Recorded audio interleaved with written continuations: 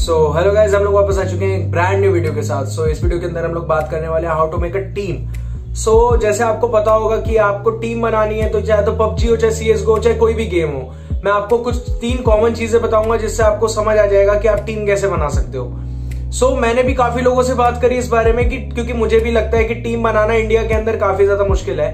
क्योंकि आप अपनी सेम मेंटेलिटी के लोग जो कम टॉक्सिक हो थोड़ा सा दिमाग ज़्यादा लगाएँ और सुने कॉल्स को वो लोग मिलना बहुत मुश्किल अब दिक्कत क्या आती है कि बंदों को अगर हम बोलते भी हमें टीम बनानी है अपनी तो या तो मज़ाक में ले लेते हैं या तो सोचते हैं ये तो चूतिया है तो फालतू की बातें कर रहा है। या टीम बनानी है नॉल हमें तो कुछ और ही करना है। सो so, इसी टाइप की मेंटालिटी के जो बंदे होते हैं उनसे आप अगर उन, उनके साथ टीम बना रखी है तो कोई फ़ायदा नहीं है आप अपना टाइम वेस्ट कर रहे हो। मैं आपको तीन चीज़ें बताता हूँ जिससे मेरे हिसाब से आपको एक अच्छे टीममेट्स मिल सकते हैं। और इसके अलावा अगर मेरे को और कोई पॉइंट्स मिलेंगे मैं ज़रूर एड ऑन करूँगा आगे की वीडियोस में। सो so, शुरू करते हैं इस वीडियो को पहले पॉइंट से। सो so, जो पहला पॉइंट है वो है कि इस गेम को आप जितना जैसे कोई भी गेम हो अभी मैं बात करता हूँ जैसे सी एस गो और पबजी के बारे में। मैं बिगनर्स के लिए बात बता रहा हूँ कि जो बिगनर्स हैं वो सोलो खेलेंगे जब भी उनको नए से नए बंदे मिलेंगे। अब मान लो अगर आपने ऑलमोस्ट मान लो बीस गेम्स भी खेल ली। बीस गेम खेलने के बाद में आपको उनमें से एक या दो बंदे तो मिलेंगे मिलेंगे। सो एक या दो बंदे तो ऐसे होंगे जो थोड़े से मेंटालिटी आपकी होगी और ऐड करने का ऑप्शन तो है ही। तो आप उनको ऐड कर सकते हो और आगे जाके, है ना, उनसे बातचीत कर सकते हो। हो सकता है आपकी दोनों की ट्यूनिंग मिल जाए और हो सकता है आप लोग एक टीम क्रिएट कर लो। और इसमें, है ना, सबसे ज़्यादा दिक्कत ये भी आती है कि हो सकता है वो मुंबई का और आप दिल्ली के हो। उसमें कोई दिक्कत वाली बात नहीं है। क्योंकि जब आप, है ना, हो सकता है, देखो जो मेनली ऑनलाइन क्वालिफायर्स तो ऑनलाइन ही होंगे। लेकिन जब लैंड टूर्नामेंट होगा तो आप ऑब्वियस ही बात है, चाहे कहीं पर भी हो, आप लोग वहाँ पर जाओगे ही।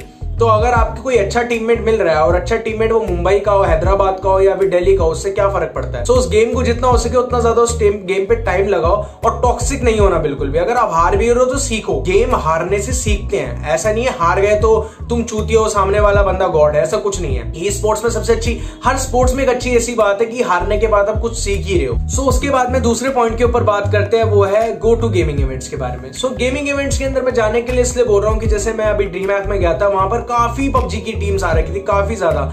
सो अब ये सोचो कि अगर आप गेमिंग इवेंट के अंदर गए हो गेमिंग इवेंट में हो सकता है कोई बंदा अपने चार बंदों को लेके आ रखा हो, और उन चार में से एक बंदा बस ऐसे ही लेकर आ रखा हो क्योंकि उनके पास में एक बंदा कम रह गया था। अगर आपने उनसे बात करी हो हो सकता है आपको अच्छी टीम मिल गई हो, और हो सकता है वो बहुत ही अच्छी टीम हो, जो मतलब लगा लो सोल तक को हराने के लिए अच्छी कैपेबल हो। तो आप खुद सोचो कि आपने अपनी वो अपॉर्चुनिटी गवा दी क्योंकि आप एक गेमिंग इवेंट में नहीं गए। ये स्पोर्ट ही ऐसा है कि आपको सोशलाइज होना बहुत इंपॉर्टेंट है। लोगों को जानना लोगों को अपने बारे में बताना। मैं ये खेलता हूँ मैं, मैं इसमें अच्छा हूँ मेरी ये हो गई क्लिप्स हो गई ये हो गई। सब कुछ आपको बताना बहुत ज़रूरी सोशलाइज होना बहुत इंपॉर्टेंट है। इन शॉर्ट सोशलाइज होना बहुत इंपॉर्टेंट है। तो आपके यहाँ पर आसपास कैफेज होंगे वहाँ कैफेज में जाओ। कैफेज में भी बंदे खेलते रहते हैं पबजी पबजी खेलते हैं वहाँ पर सीएस गो खेलते हैं। तो अपने कैफेज में आसपास जाओ। आपके आसपास छोटे मोटे इवेंट्स होते रहते होंगे, वहाँ जाओ। तो आपको सोशलाइज होना बहुत इंपॉर्टेंट है। हो सकता है वहाँ पर आपको टीम मेंबर मिल जाए, कोई बहुत बड़ी बात नहीं है। बट सबसे इंपॉर्टेंट जो मैं वापस दोहरा रहा हूँ, वो है सोशलाइज होना। सोशलाइज होना बहुत इंपॉर्टेंट है। सोशलाइज अगर आप नहीं हो सकते तो आपके लिए स्पोर्ट नहीं है, क्योंकि आप अकेले बैठ के कभी भी कुछ नहीं कर पाओगे।